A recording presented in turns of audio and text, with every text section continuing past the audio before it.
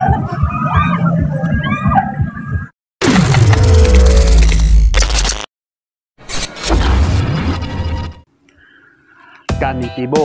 magandang araw sa ating lahat. Ngayon ay dito naman tayo sa riverbank ng Marikina. Ating pasyalan kung ano yung kagandahan dito sa riverbank. At pasyalan din natin kung ano yung meron dito sa Marikina. Mga kanitibo, kung bago pa lang kayo sa aking channel, please like, share, comment, at subscribe. Subscribe, subscribe, Subscribe kayo. Titibong dako. Pakipindot na rin yung notification bell dyan mga kanitibo para ma-update ko kayo kung, kung ano yung mga magagandang tanawin doon. Wow! Wow! At kung ano yung mga meron dito, mga kaganapan. Let's go!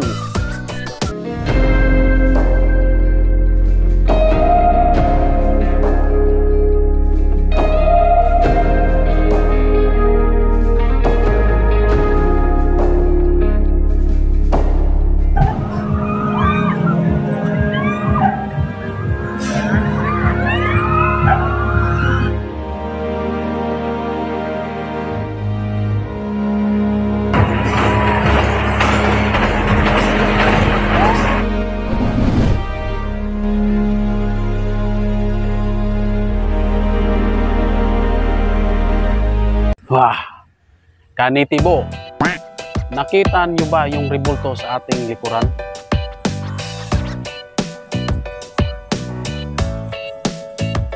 Hindi po siya si Elsa. Ang pangalan niya ay si Marikit. Si Marikit ay ang unang theory natin na pinagmulan kung saan kinuha ang pangalan na Marikina. Ang pangalawang theory natin ay yung sa panahon ng Kastila ay isang pare na nagngangalan namang Marikina. At yung pangatlo ay ang babaeng si Maria Kina. Siya ay kilala kahit doon ka sa Manila magtanong nung panahon na yun ay kilala siya na dito sa lugar na to makilala mo si Maria Kena. Yung pang-apat ay si Eduardo de Marikina. At yung sa panglima ay si Berenguer de Marikina. Lahat po ng nabanggit na theory ay may mga kwento dito sa Marikina. Kung meron kayo ibang alam na kwento tungkol sa Marikina, ay paki-comment na lang sa ating comment box. Para marami ang makaalam tungkol sa Marikina. At babasahin natin yan at pupusuan pa, mga kanetibo.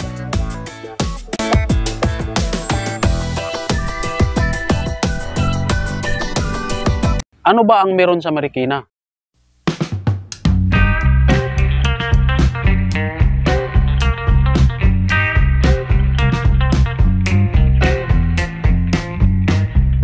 Noong taong 1887, si Don Laurencio Guevara o kilala sa pangalang Kapitan Moy ay ang kauna-unahang gumawa ng sapatos dito sa Marikina.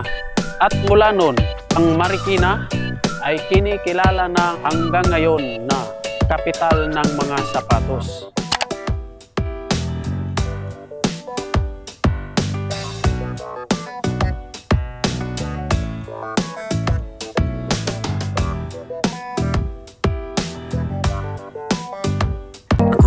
Place where they told you what to chase, told you how to run the race.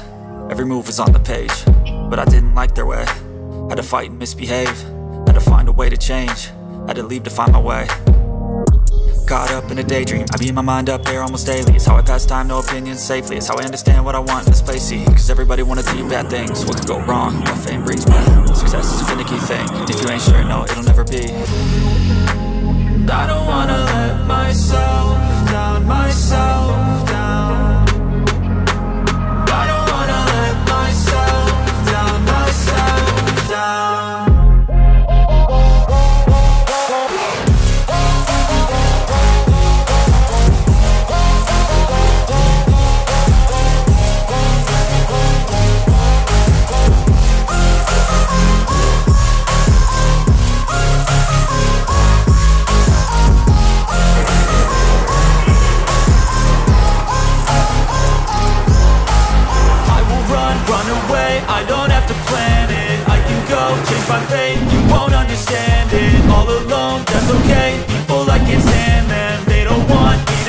Tinalian na po ang Reno.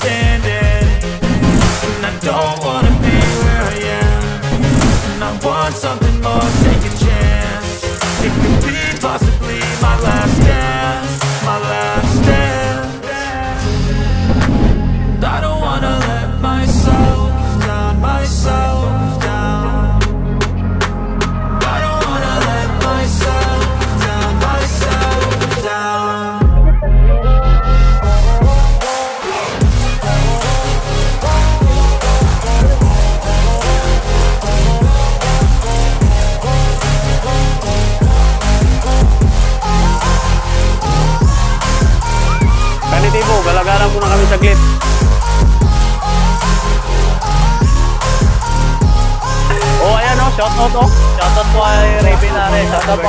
kay Raven Ares.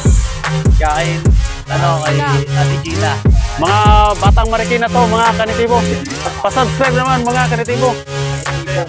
Nitibong dako, it means nitiba, nitib. Oh, nitibong dako. Ay, nang ulang isda. O yan, pero sa Mindanao na party yan. Ulang. Pero pag ano mo dyan, meron akong mga Manila dyan. Oh, no. In, mayroon dyan si, si Boy Tapang, hinabo ko, basagan kami ng durian. hindi yan, hindi yan. Ilalim. Yan. Basagan kami ng durian sa mukha. Sa Davao, ya, sa Davao pa yan. Ah, Revin Harris, shout out. Tsaka ano po, Gina Diskaya. Ah, Gina. Friend po nito. Ah.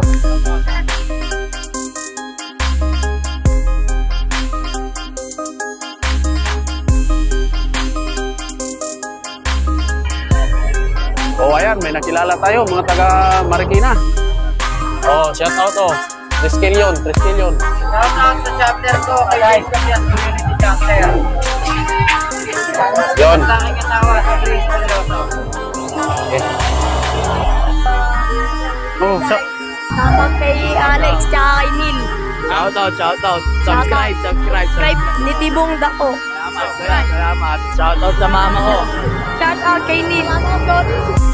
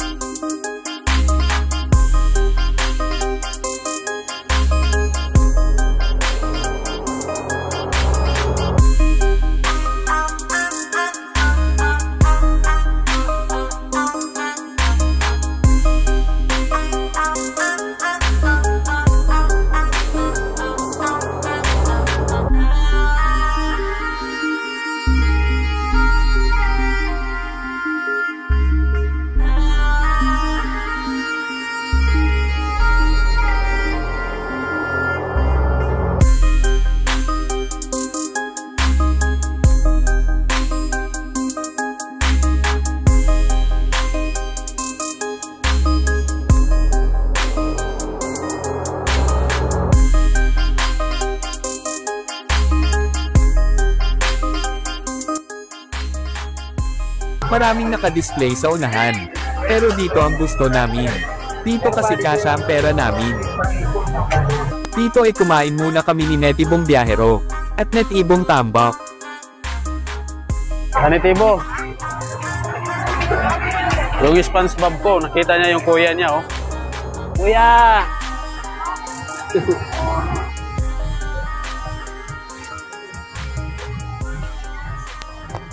Kanitibo, bili mo na kami ng, rada- ng damit. Yung dark. Mga- Sa likod mo, sa likod. Shout out. Shout out, shout out. guys. Oh. Dito.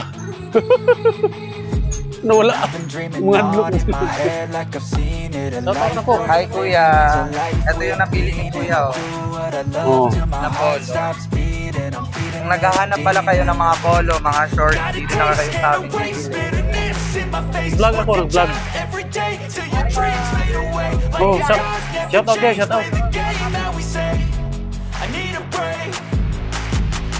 Time staying strong, need to move on to be what I want. I'll keep dreaming on. Time staying